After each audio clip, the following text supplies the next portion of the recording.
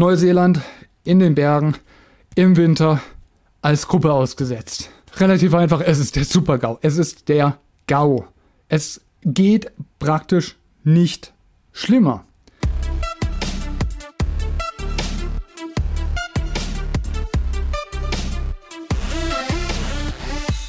Hi Guys oder äh, moin ihr wilden Schmetterlinge. Es gibt wieder Neuigkeiten und äh, wir werden jetzt analysieren. Wir werden jetzt tatsächlich eine kleine Fachanalyse, eine kleine Survival-Analyse machen über den Aussetzort, über den Aussetz- und Spielmodus, über alles, was wir bisher wissen. Und ich habe mir ein bisschen was an Notizen gemacht, deshalb nicht wundern, hat vor allem damit zu tun, dass ich mir genau aufgeschrieben habe, was ich sagen kann und darf. Also es gibt hier keine Spoiler. Und wenn ich unsicher bin, dann spreche ich das in der Regel mit Leuten aus der Organisation ab. Und zusätzlich gibt es dann so schöne Dinge wie Umrechnungen zwischen SI-Einheiten und Kilokalorien. Ähm, das schreibe ich dann gerne vorher auf. Es ist also jetzt wirklich ein Survival-Video. Jetzt geht es darum, eine Analyse zu machen, wie es jemand machen würde, der nicht dabei war und alle Informationen jetzt hat. Also von meinem Standpunkt aus nur, ich vergesse, dass ich vor Ort war. Und es gab ja schon die eine oder andere Analyse, aber was mir jeweils komplett gefehlt hat, war der Survival-Blick darauf. Und das wollen wir heute machen. Ich bin heute extra so ein bisschen zur Seite geruckt, dass wir hier ne, auf der Seite dann ein Video einspielen können, an denen die relevanten Stücke immer da sind. Da auch immer diese Vorbemerkung. Ich werde dieses Video fast ungeschnitten hochladen, äh, einfach aus Zeitgründen. Und du wirst, ihr werdet, oh, ich werde nie wieder du sagen, ihr werdet äh, in Kürze verstehen, warum und was wir gerade machen und warum das so ein bisschen dauert. So, das als notwendige Vorbemerkung. Wichtige Fragen von euch an mich, die ich noch kurz beantworten möchte. Hat sich meine Meinung bezüglich des Projektes verändert? Jetzt, wo ich selber dabei war. Prinzipiell nein. Warum? Ich hatte das Aussetzen und das Projekt selbst immer in etwa so eingeschätzt, als sehr aufwendige Survival-Sendung. Was sich nicht verändert hat, ist meine Einschätzung über die Fehler in der Staffel 2, die ich bewertet hatte. Und wenn sich jemand eine Höhle, eine einsturzgefährdete Höhle im Spülsaum sucht und dort drin bei Hochwasser liegen bleibt, oder jemand ungereinigtes Wasser in den Tropen trinkt und dann Dünnpfiff bis zum Geht nicht mehr bekommt, dann ist es einfach extrem falsch. Und das ist, das sind einfach Fehler, die dürfen vor Ort nicht passieren, die sind lebensgefährlich oder können zu schweren Erkrankungen führen und damit auch zum Ausscheiden. Das ist also das Gegenteil von Survival und dementsprechend hat sich da meine Meinung überhaupt nicht geändert. Die Gegenfrage war, fühlst du deshalb keinen Druck wegen möglicher Fehler? Dann schauen ja alle darauf, dass du Fehler machst wenn ich Fehler mache, und zwar konzeptionelle Fehler, Survival-Fehler, gerne, dann können wir darüber reden, dann haben wir einen Diskussionspunkt und das ist ganz, ganz wichtig. Wir können nur durch Fehler lernen. Das war, glaube ich, der erste Satz, den ich, oder der zweite Satz, den ich in meiner Analyse zu Staffel 2 gesagt habe. Nur, was ich wirklich nervig finde, ist, wenn er, hm, der Herr Vogel hat da ein Komma vergessen, also als jemand, der so kritisch ist, da, da ist ein Fehler. Das ist, also wenn irgendjemand dann irgendwelche Lappaienfehler als der, der große Joe Vogel hat da einen Fehler gemacht, das ist müß. Gesundheit, das ist müßig. Ähm, da kann ich dann auch nichts machen, als äh, ja, nicht drauf zu reagieren. Aber wenn ihr wirklich Fehler seht, konzeptionelle Fehler, Dinge, die man in dieser Situation anders hätte einschätzen müssen und anders machen müssen.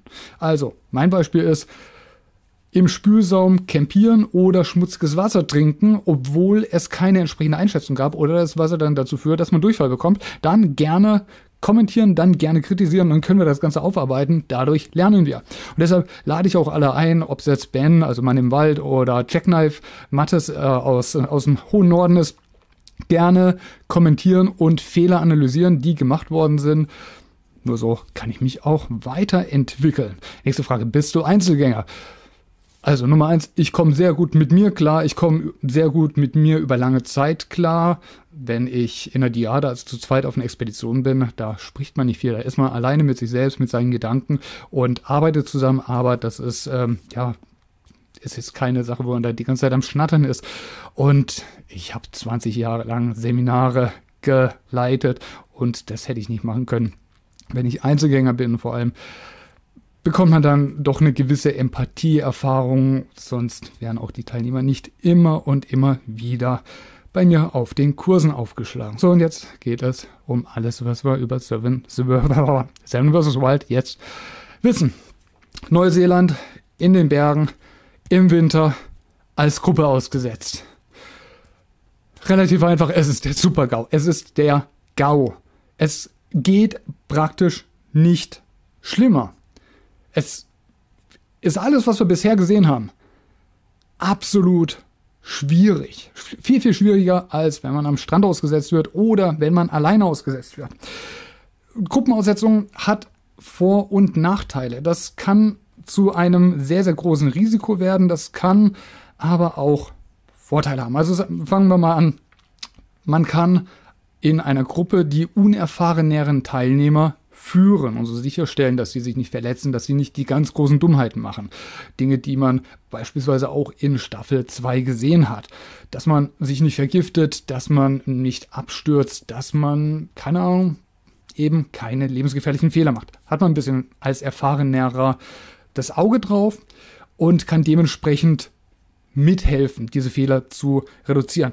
Ich hätte gar keinen Bock darauf, das sage ich. Also ganz offen, ich äh, bestätige damit nicht, dass ich weder bei der Gruppe geblieben bin, noch dass ich bei der Gruppe, äh, von der Gruppe weggegangen wäre. Das ist jetzt wirklich der Blick von mir als Trainer, als Survival-Erfahrener auf dieses Setting. Also es hat seine Vorteile. Nachteil, ganz klar, Konfliktpotenzial. Insbesondere, wenn Leute dabei sind, die ihre eigenen Grenzen nicht verstehen oder nicht verstehen, wo sie nicht in der Lage sind, den Ernst der Situation zu verstehen. Und da gibt es in diesem Setting, wie wir es haben, einfach ganz wenig Spielraum auf irgendwelche Einzeldarsteller oder auf irgendwelche Blödheiten, die man da macht. Man muss ganz, ganz sauber strukturiert die Survival Essentials abarbeiten. Fire, Water, Shelter, Food in variabler Reihenfolge. Je nachdem, welche Ressourcen vorhanden sind. Ressource ist zum Beispiel ein Fluss, Ressource sind Bäume, Ressourcen sind das Flugzeug und die Dinge, die man im Flugzeug findet. Und darauf ist erstmal Konzentration zu legen. Warum hätte ich darauf keinen Bock? Ich habe das Ganze, wie gesagt, 20 Jahre lang als Survival-Schule gemacht. Ich habe bei jedem Wetter, im Winter, im Sommer, in allen möglichen Regionen Leute über teilweise zehn Tage geführt. Ganz interessant ist auch das Projekt äh, Schwarzwaldcamp, das ist derzeit hier auf dem äh, Kanal veröffentlicht worden. Das ist auch so eine Art Seminar, wo man halt einfach merkt, wie Laien bei Kälte, bei Hunger, bei Stress reagieren. Und das sind durchaus wichtige Faktoren, die man da braucht, wenn man mit so einer Gruppe ausgesetzt ist. Und darauf hätte ich keinen Bock mehr. Und ich habe einfach auch gelernt, was diese Gruppen an Ressourcen fressen. Das ist unglaublich. Das ist, man, man unterschätzt das komplett, wenn man nicht regelmäßig in diesen Situationen war. Welche Ressourcen eine größere Gruppe benötigt. Und das ist so prekär, so problematisch. Werde ich, werde ich gleich hier euch ganz dezidiert aufbereiten, dass es da keinen Spielraum für irgendwelche Hampeleien gibt. Das ist einfach so. Sonst werden Menschen wirklich mit dem Leben bedroht. Und das ist kein Scherz. Wir sprechen hier von einer Situation, wo Unerfahrene sterben können.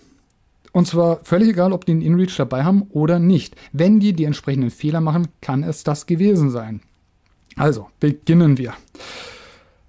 Wir haben eine sehr kalte Region. Wir haben Berge, Gebirge, hohe Luftfeuchtigkeit. Und das entspricht der täglichen Leistung, dem täglichen, täglichen Leistungsbedarf einer Kälteexpedition. Also, wenn du in Skandinavien bei minus 10 Grad oder sowas draußen unterwegs bist, verbrauchst du oder verlierst du vergleichbar viel Wärme über die Kleidung, über das Arbeiten. Wir sprechen da von etwa 12 bis 15 Megajoule oder 3000 bis 4000 Kalorien je Tag. Kann jetzt ein bisschen variieren, wer mehr Muskel hat, wer Frau, Mann ist und so fort, aber einfach so als Hausnummer mal. Und in einer Gruppe ist es wichtig, dass man in einer Survival-Situation als erstes mal ein Staple sucht, also ein Grundnahrungsmittel. Das Staple, das haben wir schon gefunden. Und dieses Grundnahrungsmittel hilft einem ein bisschen, dass man in den Hungerstoffwechsel reinrutscht. Was es ist, werde ich in einem anderen Video mal beleuchten. Also man kann langsam aber sicher von sich selbst leben. Das dauert aber seine Zeit und dann ist man voll leistungsfähig. Das, ist, das muss das Ziel sein, bis zum Ende voll leistungsfähig zu sein. Und dazu benötigt man dieses Stable. Man wird niemals den kompletten Energiebedarf über diesen Stable als Gruppe draußen bekommen. Das ist praktisch unmöglich in Regionen, in denen es mehr Pflanzen gibt und mehr Tiere oder so rum, kleinere Tiere und mehr Pflanzen. Und es ist in dieser Gebirgsregion ausgeschlossen, komplett ausgeschlossen, dass dort genügend Energie vorhanden ist. Äh, wir nutzen da als Staple die Pflanze aus den Dirty Dozen, die Hagebutte. Da neben Bemerkung, dass die Hagebutte Vitamin C hat, ist völlig irrelevant, spielt in dieser Zeit keinerlei Rolle. Für uns ist interessant, dass sie Fruchtzucker, da sie Energie enthält. Wir rechnen bei der Hagebutte vermutlich anders als die Bauchbinden in Seven vs. White mit etwa 1000 Kilokalorien je Kilogramm.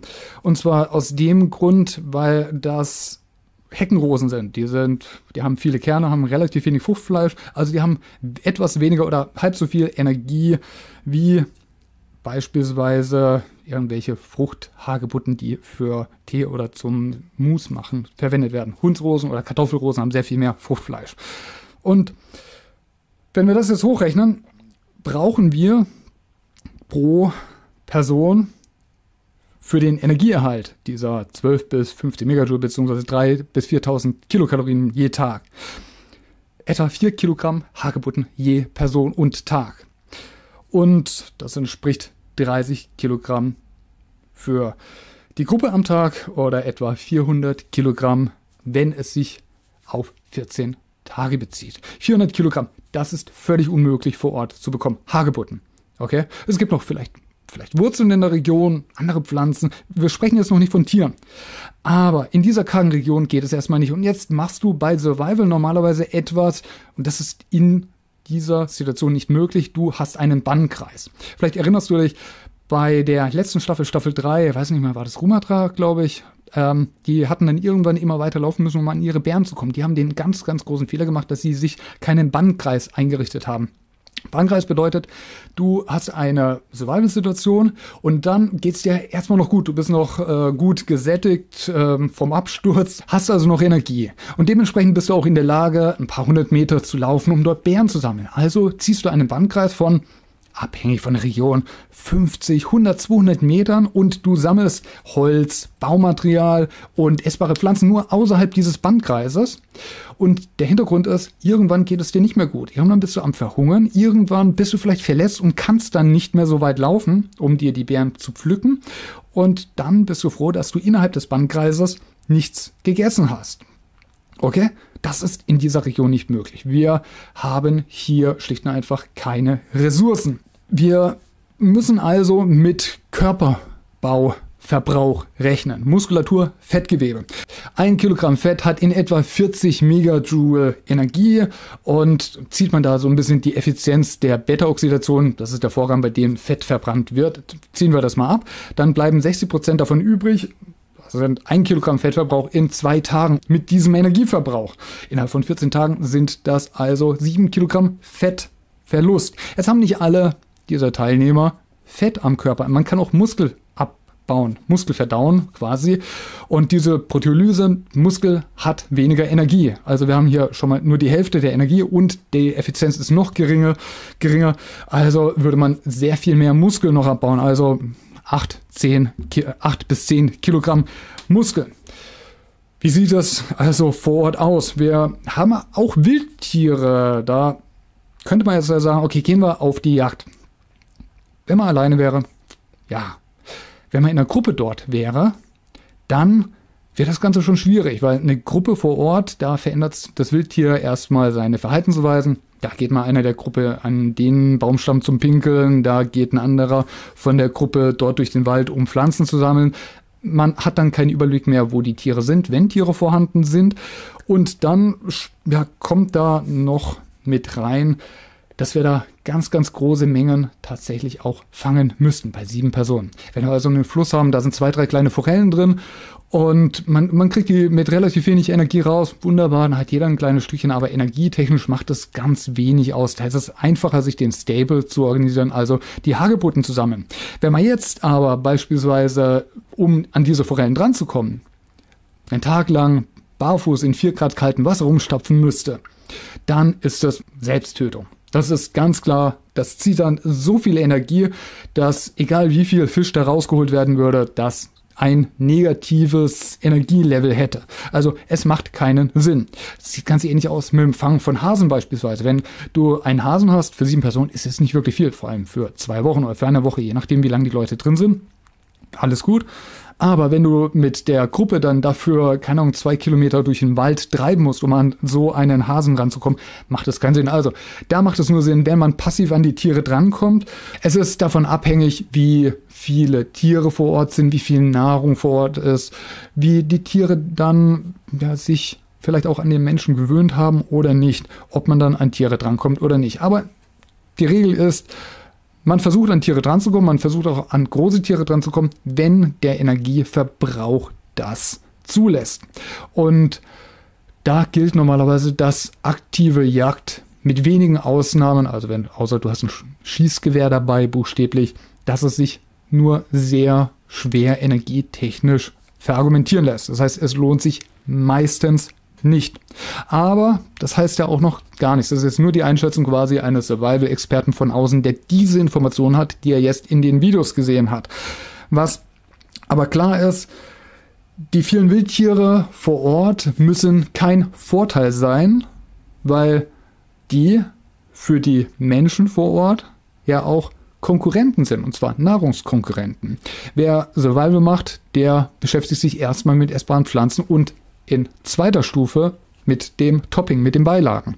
Und wenn andere Tiere auch gerne Pflanzen fressen, also Pflanzenfresser sind, dann wird das Ganze knapp. Das ist klar. Also hängt es von der Wildtierdichte ab, es hängt von der Pflanzendichte ab, es hängt auch davon ab, wie viel Hunger die Teilnehmer haben, wie viel Fett die am Körper haben.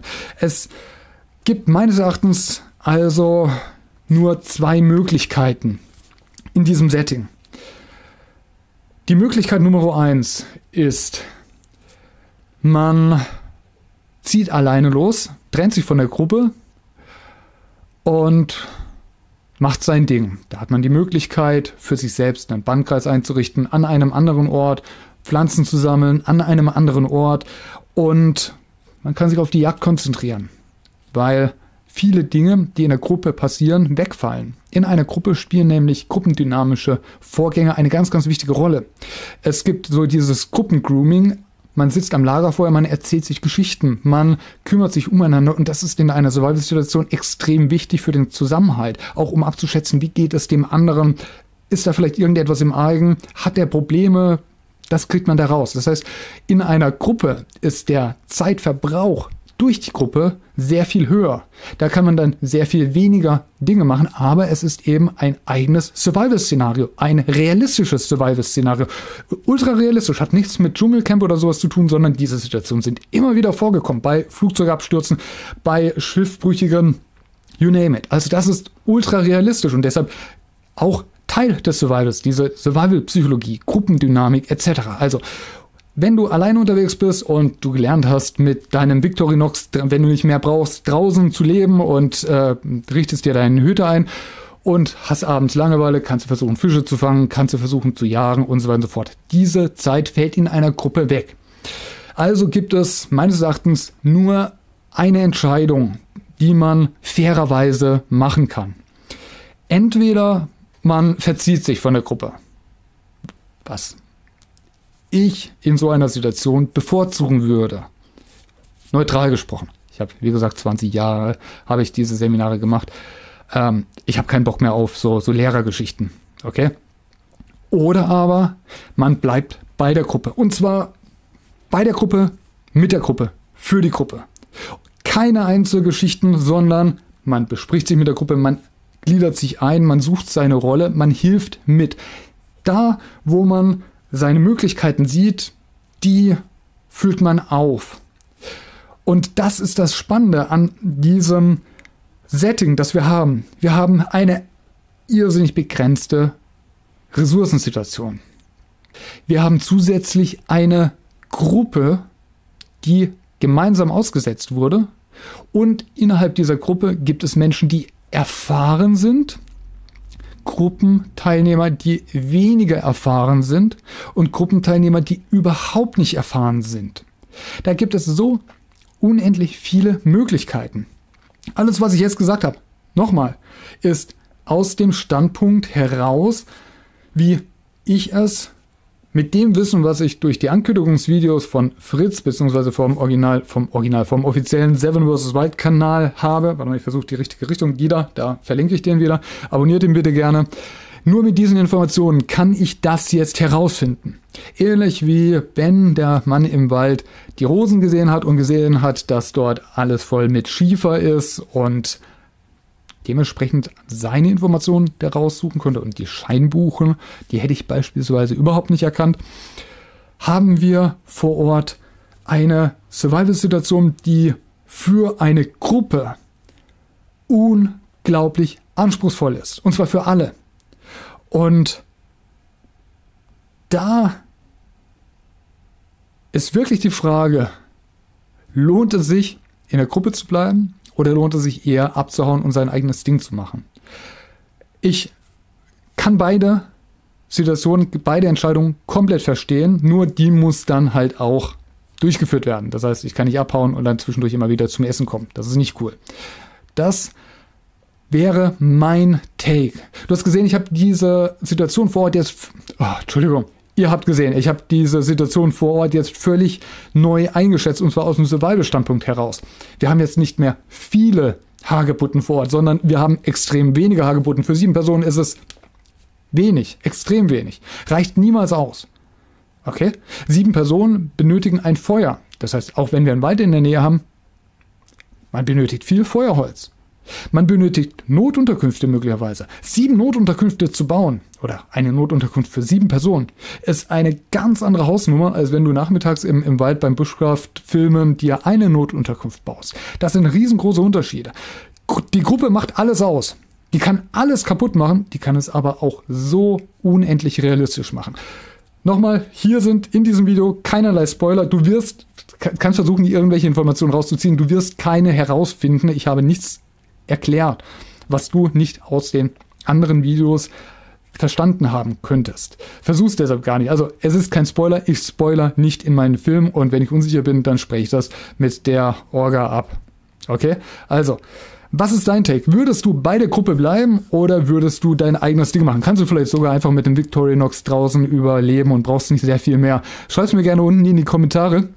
Auch ob du der Meinung bist, dass man innerhalb dieser Gruppe einen Vorteil hat, wenn man zusammenbleibt, oder ob man einen Nachteil hat, wenn man zusammenbleibt, sowohl als Anfänger als auch als Erfahrener.